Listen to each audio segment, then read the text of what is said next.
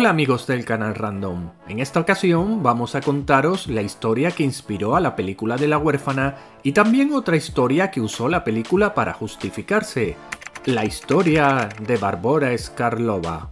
Estamos en la República Checa. Una pareja estaba vigilando a su bebé a través de una cámara y por el monitor, en lugar de ver a su hijo en la cuna, vieron a un niño encadenado dentro de una jaula con lo que parece que al conectar el monitor de la cámara de vigilancia captaron la señal de los vecinos, y quien estaba dentro de la jaula era Ondrej, de 8 años. Con Ondrej vivía su madre y su tía, Clara y Katerina Mauerova, también su hermano Jakub, de 10 años, y por último una chica de 13 años a la que habían adoptado de nombre Anika. Tras ver lo de la jaula, la pareja llamó a la policía y al llegar encontraron en un sótano a Ondrej y Jakub encerrados y a Anika pidiendo ayuda. Las hermanas Mauerova fueron arrestadas y cuando la policía intentó hablar con Anika, esta había desaparecido del hospital a la que la llevaron para examinarla. Tras investigar, descubrieron que Anika no tenía 13 años, sino 33, pero aparentaba ser más joven a causa de su enfermedad, hipopituitarismo, que hace que la glándula hipófisis no produzca las suficientes hormonas para el crecimiento, con lo que Anika no crecería bastante y su aspecto sería el de una niña. Además, su verdadero nombre era Barbora Skarlova.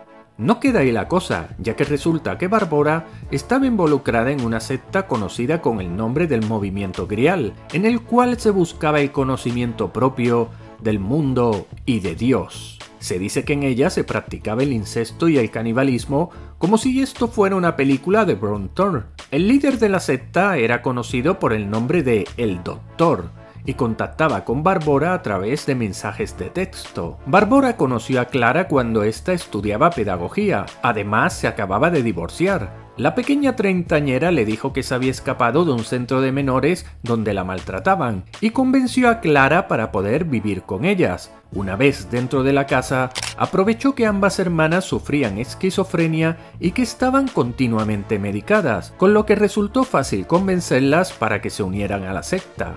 Además, se dice que las hermanas creían que eran Juana de Arco, con lo que estaban bastante cucú. Una vez dentro del movimiento grial, las hermanas pensaban que la llegada de Anika era un milagro del destino, que había llegado a sus vidas para iluminarlas y guiarlas hacia la salvación. El doctor les mandaba instrucciones para realizar una serie de rituales sobre los pequeños Ondrej y Jakub, o eso era lo que decía Anika, ya que estaba celosa de los dos niños, con lo que ordenó construir una jaula para encerrarlos y obligó a las hermanas a cometer muchas atrocidades, entre las cuales les dejaban días sin comer, los bañaban con agua helada, les quemaban con cigarrillos e incluso se dice que les cortaron parte de su carne para comérsela cruda. El líder de la secta, conocido como el Doctor, envió un par de personas al hospital donde estaba Barbora para que pudiera escapar. Además, le dieron un pasaporte con una identidad falsa, en la cual, en lugar de ser una chica con el nombre de Annika, ahora sería un chico noruego llamado Adam. Para aparentar esta nueva identidad se rapó la cabeza y usó una faja para disimular los pechotes, así que volvió a engañar a otra familia y la apuntaron en un colegio, pero los profesores se dieron cuenta de que su comportamiento no era normal y contactaron con los servicios sociales, pero Adam desapareció, con lo que difundieron su foto para encontrarlo, y gracias al Interpol vieron que Adam era en realidad Barbora Skarlova. No tardaron mucho en localizarla al norte de Noruega y la deportaron a la República Checa, ya que allí se la buscaba por abuso infantil. En 2008, una vez en su país, al bajar del avión lo hizo abrazando un oso de peluche, tratando de darle continuidad a su mentira de ser menor. Las hermanas Mauerova fueron condenadas, Clara a 12 años y Caterina a 10. A Barbora solamente le echaron 5 años, ya que no fue quien cometió estas atrocidades contra los niños, pero sí fue la mente pensante. A pesar de todo, nunca cumplió la condena, ya que apeló y logró salir en libertad en el año 2011, momento en el que Barbora desapareció para siempre y nadie sabe dónde se encuentra. Algunos apuntan a que el tal doctor ordenó eliminarla por toda la información que salió a la luz por su pertenencia a la secta del movimiento Grial. Otros dicen que está con ellos, pero a día de hoy es como si se la hubiera tragado la tierra. En 2009 se estrenaría la película de la huérfana, un año después del arresto de Barbora, aprovechando el misterio y el morbo en torno a esta historia de la treintañera que se hizo pasar por una niña. Pero, ¿y si os dijéramos que tras la película de 2009 ocurrió una historia muy similar? La historia de Natalia Grace. Christine y Michael Barnett eran un matrimonio que decidió adoptar en 2010 a una niña proveniente de Ucrania en un orfanato de Florida. Por aquel entonces Natalia tenía 6 años, o eso les dijeron en el centro de acogida, porque cuando Christine la bañó se dio cuenta de que tenía vello púbico, según relató ella. La pareja contactó con una amiga suya ucraniana para que se comunicara con la supuesta niña y les dijera cuál era su verdadera edad, pero resulta que la chica no entendía nada con lo que sospechaban que tampoco era ucraniana. Por el motivo que fuera se quedaron con Natalia. ¿Será que perdieron el ticket para devolverla? Y según los Barnett, la chica comenzó a amenazarlos con matarlos. De hecho, declararon que la pillaron intentando envenenar el café de Christine y que Natalia la arrastró hacia una valla eléctrica. También dijeron que ponía chinchetas en las escaleras para que se pincharan en los pies, y ya de remate, sus padres se despertaron una noche y vieron a Natalia junto a su cama con un cuchillo, como si pretendiera apuñalarles. Y sus padres se preguntaban, ¿y ahora cómo nos libramos de esta loca? Los Barnett consiguieron que un juez cambiara la edad legal de Natalia, indicando que realmente tenía 22 años, con lo que al ser mayor de edad ya no dependería de sus padres adoptivos y le buscaron un apartamento para que viviera sola. Para que el juez decretara esta nueva edad, los Barnett presentaron varios estudios médicos que eran de dudosa credibilidad, pero que finalmente fueron aceptados como válidos. Ana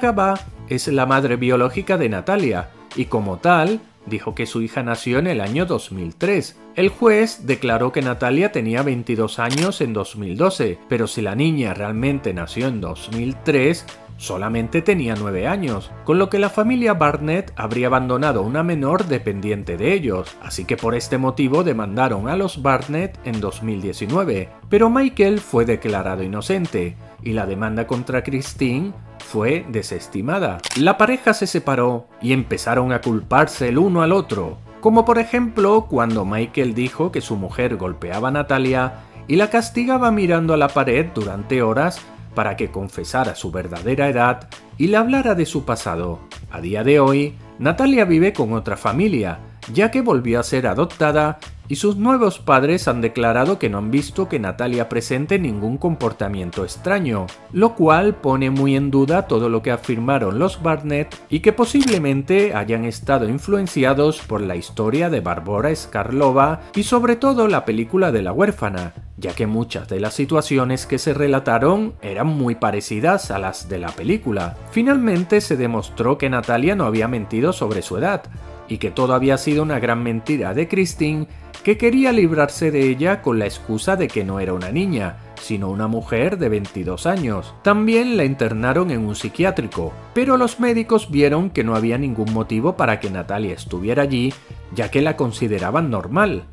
Más tarde, los padres le buscaron otro apartamento, que estaba en un barrio peligroso, y Christine se marchó a Canadá, dejando a su exmarido Michael como única persona responsable de Natalia, ya que la chica tenía una serie de discapacidades. A su enanismo había que sumarle que padecía displasia espondiloepifisaria congénita, el motivo de todo este maltrato se debe a que el mayor de la familia, Jacob, era un genio y Christine se jactaba de que todo era gracias a ella e incluso escribió un libro con el que ganó más de medio millón de dólares. Así que quería superar el éxito de Jacob, con lo que para ello adoptó a Natalia para demostrar que también podría convertir en un genio a alguien con discapacidad, pero evidentemente no lo consiguió y luego intentó deshacerse de ella. En definitiva, Natalia era una niña, y no era ningún tipo de psicópata que quisiera matar a los demás. Si os interesa saber más de esta historia, hay una serie en HBO